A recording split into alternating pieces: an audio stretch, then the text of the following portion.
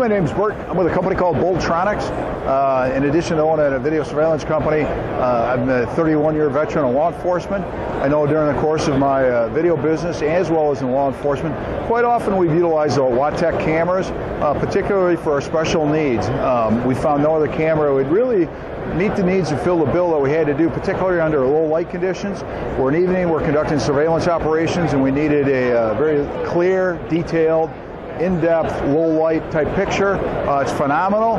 Equally as important is a crossover. When the sun comes up during the daytime, it allows the camera to compensate and give us good, crystal clear pictures during the daytime. So uh, we, uh, we use Watec for 20-some plus years. Uh, I've been personally using them for longer than that in the security business, and uh, it's a phenomenal uh, product, and we highly recommend it. Uh, Watec's put many bad guys in jail for us, and we've tried other ones on the market, and we've always come back to the Watec as our number one go-to resource.